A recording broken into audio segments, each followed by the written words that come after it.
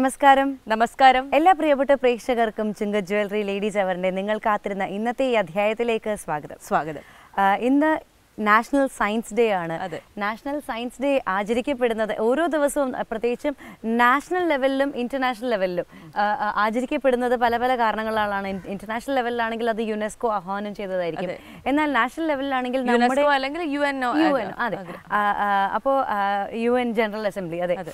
അല്ലെങ്കിൽ നാഷണൽ ലെവലിലാണെങ്കിൽ പലപ്പോഴും നമ്മുടെ രാഷ്ട്രത്തിന് അഭിമാനിക്കാവുന്ന എന്തെങ്കിലും ഒരു പ്രത്യേകത അതിനുണ്ടാകും. അതെ. നമ്മുടെ രാഷ്ട്രത്തിന് അഭിമാനിക്കാവുന്ന ചില നേട്ടങ്ങൾ സംഭാവന ചെയ്ത വ്യക്തികളുടെ ജന്മവാർഷികങ്ങൾ അല്ലെങ്കിൽ- അത്തരത്തിലുള്ള ചില നേട്ടങ്ങളെ പ്രകീർത്തിക്കുന്ന ദിവസങ്ങൾ അങ്ങനെ ഒരു നേട്ടത്തെ പ്രകീർത്തിക്കുന്ന ഒരു ദിവസമാണിന്ന്. അതിനാണ് ദേശീയ ശാസ്ത്ര ദിനമായി നാം ആചരിക്കുന്നത്. മറ്റൊന്നുമല്ല രാമൻ ഇഫക്റ്റ് എന്ന് പറയുന്ന രാമൻ പ്രഭാവം കണ്ടെത്തിയ വർഷം. ആയിരത്തി തൊള്ളായിരത്തി ഇരുപത്തിയേഴ് ഫെബ്രുവരി ഇരുപത്തി എട്ടാം തീയതിയാണ് രാമൻ പ്രഭാവം എന്ന് പറയുന്ന പ്രതിഭാസം ആദ്യമായി കണ്ടെത്തിയത്. പിന്നീട് ഇന്ത്യയുടെ പ്രശസ്തി ലോകമെമ്പാടും എത്തിച്ച നൊബേൽ പുരസ്കാരം വരെ ഈ ഒരു എഫക്റ്റിന് നേടാനായി. അതെ. അതുകൊണ്ട് തന്നെയാണ് നമ്മൾ ഇന്നേ ദിവസം ദേശീയ ശാസ്ത്ര ദിനമായി ആചരിക്കുന്നത്.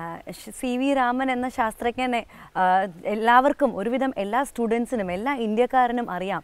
ഒരു ഫിസിക്സിലും കെമിസ്ട്രിയിലും നൊബേൽ പ്രൈസുകൾ ലഭിച്ചിട്ടുള്ള ഇദ്ദേഹത്തിന് ഇദ്ദേഹത്തിന്റെ ആദ്യത്തെ നാഴികക്കൽ കണ്ടുപിടുത്തമായിരുന്നു റാമൻ സ്കാറ്ററിംഗ് അതായത് ഫോട്ടോൺസിന്റെ ഇൻഇലാസ്റ്റിക് സ്കാറ്ററിങ്ങിനെ കുറിച്ചുള്ള ഈ ഒരു കണ്ടുപിടുത്തം.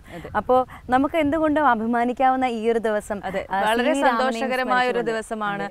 എന്താണ് രാമൻ ഇഫക്റ്റ് അത് എങ്ങനെയാണ് രാമൻ കണ്ടുപിടിക്കാൻ ഇടയായ സാഹചര്യം എന്താണ്? ഇത്തരം വിശേഷങ്ങളിലൊക്കെയൊക്കെ നമുക്ക് കടക്കാം. ആദ്യ സെഗ്മെന്റിന് ശേഷം.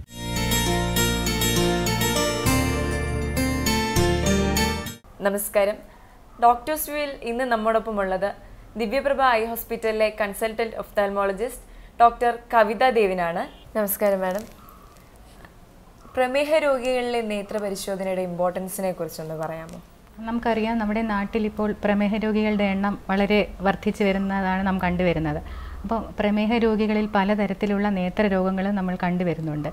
ഏകദേശം അൻപത് ശതമാനത്തോളം പ്രമേഹ രോഗികളിലും നേത്രരോഗങ്ങൾ സർവസാധാരണമാണ്. അപ്പോൾ ഈ പ്രമേഹ രോഗികളിൽ ഉണ്ടാകുന്ന നേത്രരോഗങ്ങളുടെ ഒരു പ്രത്യേകത എന്തെന്ന് വെച്ചാൽ പല ഗുരുതരമായ നേത്രരോഗങ്ങൾക്കും ആരംഭദശയിൽ പറയത്തക്കതായ യാതൊരുവിധ രോഗലക്ഷണവും ഉണ്ടായിരിക്കില്ല അതായത് രോഗിക്കൊരു കാഴ്ച മങ്ങലോ അല്ലെങ്കിൽ തന്റെ കണ്ണിന് എന്തെങ്കിലും ഒരു ബുദ്ധിമുട്ട് ഉള്ളതായിട്ട് അവർക്ക് അനുഭവപ്പെടുകയില്ല. അപ്പോൾ ഒരു റുട്ടീൻ ഐ ചെക്കപ്പിലൂടെ മാത്രമേ നമുക്ക് ഈ പല ഗുരുതരമായ നേത്രരോഗങ്ങളും ആരംഭദശയിൽ കണ്ടുപിടിക്കാനായി സാധിക്കുകയുള്ളൂ. അപ്പോൾ അതുകൊണ്ടാണ് നമ്മൾ എല്ലാ പ്രമേഹ രോഗികളും നമ്മൾ പ്രമേഹം ഉണ്ടെന്ന് മനസ്സിലാക്കി കഴിഞ്ഞാൽ അല്ലെങ്കിൽ പ്രമേഹത്തിന് മരുന്ന് എടുക്കുന്ന ഒരു രോഗി വർഷത്തിൽ ഒരിക്കലെങ്കിലും ഒരു സമ്പൂർണ നേത്ര പരിശോധന നടത്തണം എന്ന് പറയുന്നത്. അപ്പോൾ എന്താണ് ഈ സമ്പൂർണ നേത്ര പരിശോധന എന്ന് പറഞ്ഞാൽ നാം മനസ്സിലാക്കുന്നത്? അപ്പോൾ സാധാരണയായി നമ്മളെല്ലാം കാണുന്നത് ഇപ്പോൾ ഒരു കണ്ണട ആവശ്യമുള്ള ഒരു വ്യക്തിയാണെങ്കിൽ ഇപ്പം നേരെ ഏതെങ്കിലും ഒരു കണ്ണാടി കടയിൽ പോ ചെല്ലുകയോ അല്ലെങ്കിൽ ഒരു കമ്പ്യൂട്ടറൈസ്ഡ് ആയി ഒരു ക്ലി ഒരു ഓപ്റ്റിക്കൽ ഷോപ്പിൽ ചെന്ന് കഴിഞ്ഞാൽ അവർ പവർ നോക്കി ഒരു കണ്ണട പ്രിസ്ക്രൈബ് ചെയ്ത് കൊടുക്കും.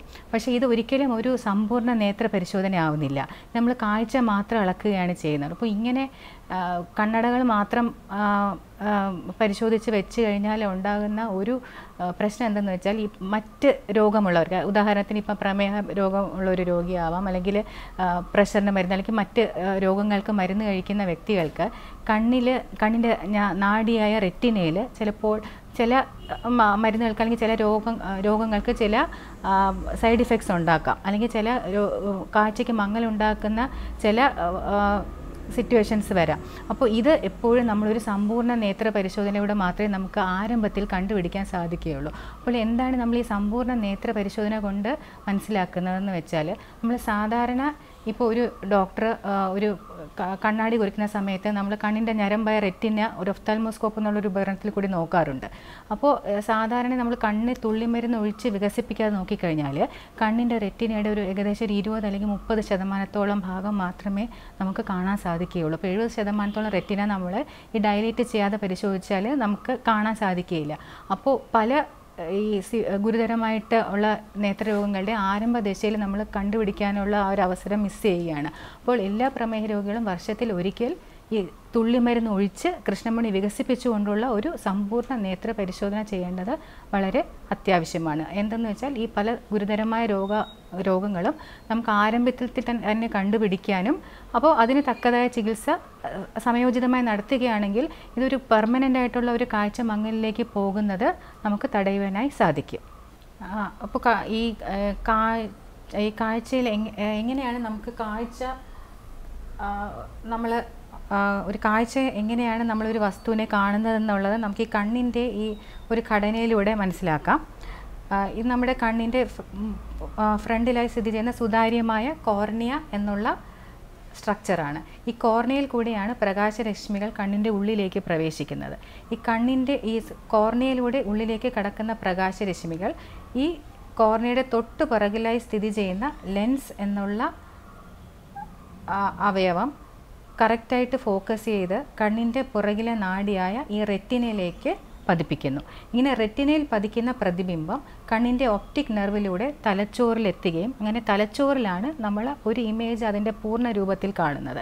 അപ്പോൾ നാം മനസ്സിലാക്കേണ്ടത് ഈ പ്രകാശരശ്മിയുടെ ഈ പാതയിൽ ഏതെങ്കിലും ഒരു ഭാഗത്ത് തടസ്സമുണ്ടായാൽ അത് നമ്മുടെ കാഴ്ചയെ ബാധിക്കാം. ഉദാഹരണത്തിന് കോ കൃഷ്ണമണിയുടെ കോർണിയയിൽ എന്തെങ്കിലും ഒരു അസുഖം വന്നാൽ അത് കാഴ്ചയെ ബാധിക്കാം. അതുപോലെ കണ്ണിന്റെ ആ കോർണിയുടെ തൊട്ട് പിറകിലെ സ്ഥിതി ചെയ്യുന്ന സുതാര്യമായ ലെൻസിന്റെ സുതാര്യത നഷ്ടപ്പെട്ടാൽ അതിനെ നമ്മൾ തിമിരം എന്ന് പറയും. തിമിരം വന്നു കഴിഞ്ഞാൽ പ്രകാശരശ്മികൾക്കുള്ളിലേക്ക് കടക്കാൻ സാധിക്കുന്നില്ല. തിമിരം വന്നാൽ കാഴ്ചയെ ബാധിക്കാം. അതേപോലെ കണ്ണിന്റെ റെറ്റിനെ റെറ്റിനയിൽ എന്തെങ്കിലും ഒരു അസുഖമുണ്ടെങ്കിൽ അവിടെ ഒരു അസുഖം ഉണ്ടെങ്കിൽ അത് കാഴ്ചയെ ബാധിക്കാം. അതുപോലെ കണ്ണിന്റെ പുറകിലുള്ള ഒപ്റ്റിക് നെർവിന് ഒരു അസുഖം ഉണ്ടെങ്കിൽ കാഴ്ചയെ ബാധിക്കും. അതുപോലെ ബ്രെയിനിലോട്ട് എന്തെങ്കിലും പ്രശ്നമുണ്ടെങ്കിലും അത് കാഴ്ചയെ ബാധിക്കാം. ഇതാണ് അപ്പോൾ ഒരു നോർമൽ വിഷ്വൽ പാത്തേ എന്ന് നമ്മൾ പറയും. അപ്പോൾ ഈ വിഷ്വൽ പാത്വേയിൽ ഏതെങ്കിലും ഒരു ഭാഗത്ത് പ്രകാശരശ്മിക്ക് കണ്ണിലേക്ക് കടക്കാനായിട്ടുള്ള ആ ഒരു പാത്തിൽ ഒരു ബ്രേക്ക് വരികയാണെങ്കിൽ നമ്മുടെ കാഴ്ചയെ ബാധിക്കാം. അപ്പോൾ ഇനി എങ്ങനെയാണ് പ്രമേഹ രോഗം നമ്മുടെ കണ്ണുകളെ ബാധിക്കുന്നതെന്ന് നോക്കാം. അപ്പം നമുക്ക് ഈ കണ്ണിൽ ഉണ്ടാ പ്രമേഹ രോഗികളിൽ ഉണ്ടാകുന്ന നേത്രരോഗങ്ങളെ ഒന്ന് ബ്രോഡായിട്ട് പറഞ്ഞാൽ രണ്ടായി തരംതിരിക്കാം. ഒന്ന് ഗുരുതരമായ കാഴ്ചയ്ക്ക് മങ്ങലുണ്ടാക്കുന്ന രോഗങ്ങളും ഒന്ന് അധികം ഗുരുതരമല്ല പക്ഷേ അതേസമയം അത് രോഗിക്ക് വളരെയധികം ഇറിറ്റേഷൻ ഉണ്ടാക്കുന്ന മൈനർ എയിൽമെന്റ്സ് നമ്മൾ പറയും. ഇപ്പം മേജർ കോംപ്ലിക്കേഷൻസും മൈനർ കോംപ്ലിക്കേഷൻസ് എന്ന് പറഞ്ഞാൽ നമുക്ക് രണ്ടായി തരംതിരിക്കാം. അപ്പം എന്താണ് ഈ മൈനർ കോംപ്ലിക്കേഷൻസ് പറഞ്ഞാൽ ഉദാഹരണമായിട്ട് ഈ പ്രമേഹ രോഗികൾ കണ്ണുനീരിന്റെ ജലാംശം കുറയുന്നതായിട്ട് കണ്ടുവരുന്നുണ്ട് ഡ്രൈ ഐസ്. അപ്പോൾ അത് പ്രമേഹ രോഗികളിൽ വളരെ കൂടുതലാണ്. അപ്പോൾ ഈ ഡ്രൈ ഐസ് ഉണ്ടാകുമ്പോൾ നമുക്ക് കണ്ണിലൊരു കരകരപ്പ് ഉണ്ടാവുകയും കണ്ണിലെന്തോ പൊടി കിടക്കുന്ന പോലെ തോന്നുകയും അപ്പോൾ കണ്ണിന് എപ്പോഴും ഒരു ഇറിറ്റേഷൻ ആയിരിക്കും. ഇതും വളരെ സിവിയർ ആയിട്ടുള്ള ഡ്രൈ ഐയിലോട്ട് പോയാൽ മാത്രമേ അത് കാഴ്ചയെ ബാധിക്കുകയുള്ളൂ. പക്ഷേ മൈനർ ആയിട്ടുള്ള ഡ്രൈ ഐ ആണെങ്കിലും അത് രോഗിയെ സംബന്ധിച്ചിടത്തോളം വളരെ ഒരു ബുദ്ധിമുട്ടും ഒരു അസൗകര്യം ഉണ്ടാക്കുന്ന ഒരു അവസ്ഥയാണ്. അപ്പോൾ ഡ്രൈ ഐസ് കോമൺ ആയിട്ട് കണ്ടുവരുന്നുണ്ട് പ്രമേഹ രോഗികളിൽ. രണ്ടാമതായിട്ട് കണ്ണിന്റെ കണ്ണിൽ അടിക്കടി വരുന്ന കൺകുരു. പലപ്പോഴും ഒരു ഒരു നാൽപ്പത് അല്ലെങ്കിൽ ഒരു അമ്പത് വയസ്സ് കഴിഞ്ഞിട്ടുള്ള ഒരു വ്യക്തി ഡോക്ടറെ സമീപിക്കുകയാണ്. എനിക്ക് എപ്പോഴും കൺകുരു വരുന്നു. അപ്പോൾ നമ്മൾ ബ്ലഡ് ഷുഗർ നോക്കുമ്പോഴായിരിക്കും ചിലപ്പോൾ പലപ്പോഴും ഡയബറ്റിസ് ഉണ്ടെന്ന് നമ്മൾ കണ്ടുപിടിക്കുന്നത്. അപ്പോൾ അടിക്കടി വരുന്ന കൺകുരു പ്രമേഹത്തിന്റെ ഒരു ലക്ഷണമാണ്. അല്ലെങ്കിൽ പ്രമേഹ രോഗികൾ തന്നെ ബ്ലഡ് ഷുഗർ നല്ല കൺട്രോൾ അല്ലെങ്കിൽ അൺകൺട്രോൾഡ് ആയിട്ടുള്ള ഡയബറ്റിക് രോഗികളിലും കൺകുരു വരുന്നത് ധാരാളമായി കണ്ടുവരുന്നുണ്ട്. പിന്നെ പിന്നീടുണ്ടാകുന്ന നമ്മുടെ കൺപീലികൾക്കുണ്ടാകുന്ന ഇൻഫെക്ഷൻ അല്ലെങ്കിൽ കണ്ണിന്റെ പോളകളിലുണ്ടാകുന്ന തടുപ്പ് ബ്ലിഫറൈറ്റിസ് എന്ന് പറയും. ചെറിയ നമ്മുടെ തലയിൽ താരൻ വരുന്ന പോലെ കൺപീലികളിലുണ്ടാകുന്ന ചെറിയ ഇൻഫ്ലമേഷൻ അല്ലെങ്കിൽ ആ താരൻ പോലത്തെ ഒരു അവസ്ഥ നമ്മൾ ബ്ലിഫറൈറ്റിസ് എന്ന് പറയും. ഇതും കണ്ണിൽ കരകരപ്പും ചൊറിച്ചിലും ഇറിറ്റേഷനും ഒക്കെ ഉണ്ടാക്കുന്ന ഒരു അവസ്ഥയാണ്. ഇതും കൂടുതലായിട്ട് പ്രമേഹ രോഗികളിലും അല്ലെങ്കിൽ ബ്ലഡ് ഷുഗർ ലെവൽ നല്ല രീതിയിൽ കൺട്രോൾ അല്ലാത്ത പ്രമേഹ രോഗികൾ നമ്മൾ കൂടുതലായിട്ട് കണ്ടുവരുന്നുണ്ട്. ഇതൊക്കെയാണ് കോമൺ ആയിട്ടുള്ള മൈനർ എയിൽമെന്റ്സ് പ്രമേഹ രോഗികൾ കൂടുതലായിട്ട് കണ്ടുവരുന്നത്. പിന്നെ ഇനി പ്രധാനമായിട്ട് കാഴ്ചയ്ക്ക് മങ്ങലുണ്ടാക്കുന്ന നേത്രരോഗങ്ങൾ പ്രമേഹ രോഗികൾ കൂടുതൽ അതാണ് നമ്മൾ കൂടുതൽ ഗൗരവമേറി ഗൗരവത്തോടു കൂടി കാണേണ്ടത്. മൂന്ന് രോഗങ്ങളാണ് പ്രധാനമായിട്ട് പ്രമേഹ രോഗികൾ കൂടുതലായി കണ്ടുവരുന്നത്. അതിൽ നമുക്ക് രണ്ടായി തരംതിരിക്കാം. ഒന്ന് നമ്മൾ ക്യൂറബിൾ ബ്ലൈൻഡ്നെസ് എന്ന് പറയും. അതായത് ഒരു കാഴ്ചയ്ക്ക് മങ്ങലുണ്ടാക്കിയാൽ നമുക്ക് ചികിത്സിച്ച് പൂർണമായിട്ടും ഭേദമാക്കാവുന്ന ഒരു അന്ധതയ്ക്ക് നമ്മൾ ക്യൂറബിൾ ബ്ലൈൻഡ്നെസ് എന്ന് പറയും. രണ്ടാമത്തെ നമ്മൾ പ്രിവെന്റബിൾ ബ്ലൈൻഡ്നെസ് അതായത് രോഗിക്ക് കാഴ്ച നഷ്ടപ്പെട്ടാൽ നമുക്ക് ആ നഷ്ടപ്പെട്ട കാഴ്ച വീണ്ടെടുക്കാൻ സാധ്യമല്ല. പക്ഷേ തക്ക സമയത്ത് കണ്ടുപിടിച്ച് ചികിത്സ ആരംഭിക്കുകയാണെങ്കിൽ നമ്മൾ ഏത് സ്റ്റേജിലാണോ കണ്ടുപിടിക്കുന്നത് അവിടെ നമുക്ക് ഫർദർ ആയിട്ട് അല്ലെങ്കിൽ കൂടുതൽ കാഴ്ച മങ്ങുന്ന തടയാൻ സാധിക്കും. അതിനെ നമ്മൾ പ്രിവെന്റബിൾ എന്ന് പറയും. അപ്പോൾ ഈ രണ്ട് രീതിയിലാണ് കാഴ്ച മങ്ങൽ ഉണ്ടാക്കുന്ന പ്രമേഹ രോഗികളിൽ അപ്പോൾ ആദ്യം ക്യൂറബിൾ ബ്ലൈൻഡ്നെസ്സിന്റെ ഒരു പ്രധാനപ്പെട്ട റീസൺ തിമിരമാണ്. അപ്പോൾ തിമിരം നമുക്കിപ്പോൾ ഏത് പ്രായക്കാരിലായാലും ഉണ്ടാകാം. പക്ഷേ പ്രമേഹ രോഗികളിൽ ഉണ്ടാകുന്ന തിമിരത്തിന്റെ ഒരു പ്രത്യേകത കുറേ കൂടെ ചെറുപ്പത്തിൽ ഇത് കണ്ടുവരുന്നു എന്നുള്ളതാണ്. സാധാരണ തിമിരിപ്പ് ഏത് പ്രായത്തിൽ വേണമെങ്കിലും വരാം. ഈവൻ ഒരു നവജാത ശിശുവിന് വരെ നമുക്ക് വളരെ റെയറായിട്ടാണെങ്കിലും കാണാം. പക്ഷേ പൊതുവെ പറയുകയാണെങ്കിൽ തിമിരം ഒരു പ്രായം ചെന്ന ആൾക്കാർ ഒരു അമ്പത് വയസ്സ് അല്ലെങ്കിൽ അറുപത് വയസ്സിന് മേലുള്ള ആൾക്കാരിലാണ് നമ്മൾ സാധാരണയായി തിമിരം കാണുന്നത്. പക്ഷേ അതേസമയം പ്രമേഹ രോഗികൾ പ്രത്യേകിച്ചും ഈ ചെറുപ്പത്തിലെ പ്രമേഹം ഇപ്പോൾ ചിലപ്പോൾ ഒരു ഇരുപത് വയസ്സിലോ മുപ്പത് വയസ്സിലോ ഒക്കെ പ്രമേഹം തുടങ്ങിയ ആളുകളിൽ കുറച്ച് നേരത്തെ നമ്മൾ കണ്ടുവരുന്നുണ്ട്. അതുപോലെ ഈ കാറ്ററാക്ട് അല്ലെങ്കിൽ തിമിരത്തിന്റെ ഒരു ഇൻസിഡൻസ് നമ്മൾ നോക്കുകയാണെങ്കിൽ സാധാരണ ജനങ്ങളെക്കാൾ കൂടുതൽ പ്രമേഹ രോഗികൾ ഒരു രണ്ട് മടങ്ങ് കൂടുതൽ തിമിരം ഉള്ളതായി നമ്മൾ കണ്ടുവരുന്നു. അപ്പോൾ തിമിരം നമുക്ക് ഒരു ക്യൂറബിൾ ഡിസീസ് അതായത് തിമിരം മൂലം ഉണ്ടാകുന്ന കാഴ്ചമകൾ നമുക്ക് പൂർണമായിട്ടും ചികിത്സിച്ച് ഭേദമാക്കാവുന്നതാണ് അപ്പോൾ എന്താണ് ഈ തിമിരം എന്ന് പറഞ്ഞാൽ നേരത്തെ നമ്മൾ ഈ ഐയുടെ സ്ട്രക്ചർ കണ്ടപ്പോൾ ഞാൻ പറഞ്ഞു കൃഷ്ണമണിയുടെ തൊട്ട് ബാക്കിലായിട്ട് സ്ഥിതി ചെയ്യുന്ന ആ സുതാര്യമായ ലെൻസിന്റെ സുതാര്യത നഷ്ടപ്പെടുന്ന അവസ്ഥ.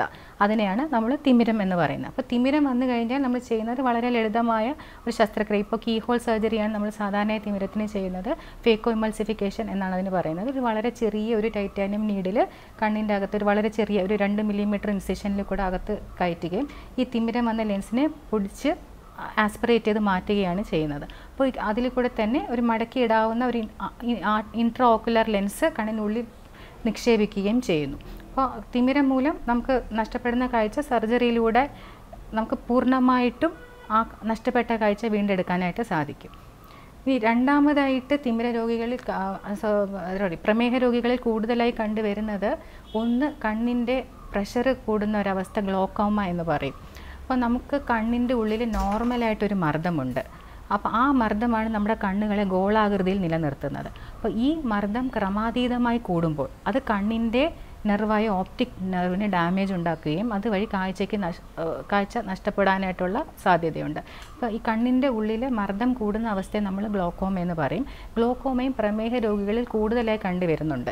പ്രമേഹ രോഗികളിൽ മാത്രമല്ല ഗ്ലോക്കോമ കാണുന്നത്. ഗ്ലോക്കോമയ്ക്ക് പല റീസൺസ് ഉണ്ട്. പക്ഷേ എന്നിരുന്നാലും പ്രമേഹ രോഗികളിലും നമ്മൾ കൂടുതലായിട്ട് ഗ്ലോക്കോമ എന്നുള്ള രസം കണ്ടുവരുന്നുണ്ട്. രാമൻ ഇഫക്റ്റ് അഥവാ രാമൻ പ്രഭാവം എന്ന സംഭവത്തെക്കുറിച്ച് അല്ലെങ്കിൽ പ്രതിഭാസത്തെക്കുറിച്ചാണ് നമ്മൾ സംസാരിച്ചുകൊണ്ടിരുന്നത്. അപ്പോൾ എങ്ങനെയാണ് രാമൻ ഇഫക്റ്റ് കണ്ടെത്തിയത് എന്ന് ചിന്തിച്ചു കഴിഞ്ഞു കഴിഞ്ഞാൽ ആയിരത്തി തൊള്ളായിരത്തി ഇരുപത്തിയേഴ് ഫെബ്രുവരി ഇരുപത്തിയേഴാം തീയതി കൊൽക്കത്തയിലെ ഒരു പരീക്ഷണശാലയിൽ വളരെ പ്രധാനമായ ഒരു പരീക്ഷണം നടത്തിക്കൊണ്ടിരിക്കുകയായിരുന്നു. സി വി രാമൻ അടങ്ങുന്ന ഒരു കൂട്ടം ആളുകൾ.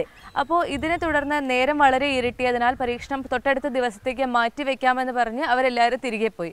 പിന്നീട് തൊട്ടടുത്ത ദിവസം ഫെബ്രുവരി ഇരുപത്തി എട്ടാം തീയതി തിരിച്ചു വരുമ്പോൾ ഇവർ കാണുന്നത് വളരെ പരിശുദ്ധമായ ഗ്ലിസറിനിലൂടെ പ്രകാശം കടത്തിവിടുമ്പോൾ ആ ഒരു ദ്രാവകത്തിന് ഇവർ പ്രതീക്ഷിച്ചത് ഒരു നീലിമ കലർന്ന നിറമാണ്. പക്ഷെ അവർ കണ്ടത് വളരെ പച്ചപ്പ് കലർന്ന ഒരു നിറമാണ്. അപ്പൊ എന്തുകൊണ്ട് പ്രതീക്ഷിച്ച നിറമല്ലാതെ അതിൽ നിന്ന് വ്യത്യസ്തമായ ഒരു നിറം കണ്ടെത്തി എന്നുള്ള ആ ഒരു ജിജ്ഞാസ ആ ഒരു ക്യൂരിയോസിറ്റിയാണ് രാമൻ ഇഫക്റ്റ് എന്ന് പറയുന്ന വളരെ ശാസ്ത്രലോകത്തിന് അഭിമാനിക്കാവുന്ന അല്ലെങ്കിൽ ഒരുപാട് ഉത്തരങ്ങൾ നൽകുന്ന ഒരുപാട് ചോദ്യങ്ങൾക്ക് ഉത്തരം നൽകുന്ന ഒരു എഫക്റ്റ് കണ്ടുപിടിക്കാൻ സാധിച്ചത്. അപ്പോൾ അന്ന് വരെ എലാസ്റ്റിക് സ്കാറ്ററിംഗ് ഓഫ് ഫോട്ടോൺസ് അതായത് റെയിലീസ് തിയറം അന്ന് വരെ എന്താണ് പ്രാബല്യത്തിലുണ്ടായിരുന്നു.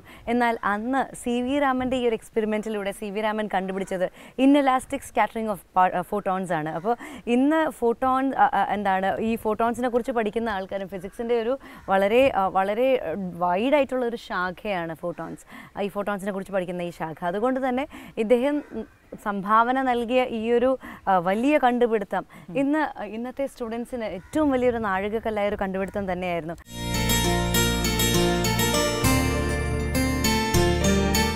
അപ്പോൾ ഈ ഗ്ലോക്കോമയും ഈ പ്രിവെന്റബിൾ ബ്ലൈൻഡ്നെസ് എന്നുള്ള ആ കാറ്റഗറിയിൽ വരുന്നതാണ്. അതായത് നമുക്കിപ്പോൾ ഒരു ഗ്ലോക്കോമ ഉള്ള ഒരു രോഗി നമ്മുടെ അടുത്ത് വരികയാണെങ്കിൽ നമ്മൾ അടുത്ത് വരുമ്പോൾ ഇപ്പോൾ എത്ര കാഴ്ച ആ- രോഗിക്കുണ്ടോ? അപ്പോൾ അത് നമുക്ക് മരുന്നുകൾ കൊണ്ട് നിലനിർത്തി പോകാനേ സാധിക്കുകയുള്ളൂ.